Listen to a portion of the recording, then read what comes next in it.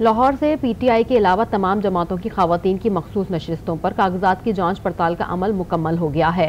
Chairman Pakistan Peoples Party Bilawal Bhutto के कागजात नामजदगी पर आयद एतराज़ पर फैसला महफूज कर लिया गया।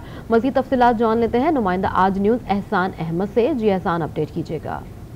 जी बिल्कुल, आज भी आम इंतबात के लिए उम्मीदवारों के कागजात नामजदगी की जाँच पड़ताल का अमल जो है वो जारी है।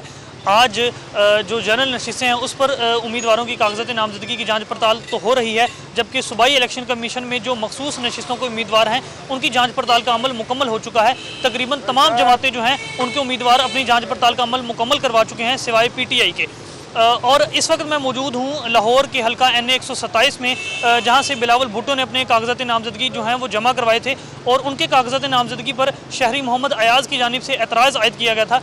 ये एतराज़ आयद किया गया था कि बिलावल भुट्टो जो हैं, उनका ताल्लुक पाकिस्तान पीपल्स पार्टी से है, जबकि उन्होंने जो कागजात नामजदगी जमा करवाए हैं, वो पाकिस्तान पीपल्स पार्टी पार्लियामेंटेरियन से जमा करवाए हैं, जबकि एक शख्स जो है, वो दो जमातों से इलेक्शन नहीं लड़ सकता।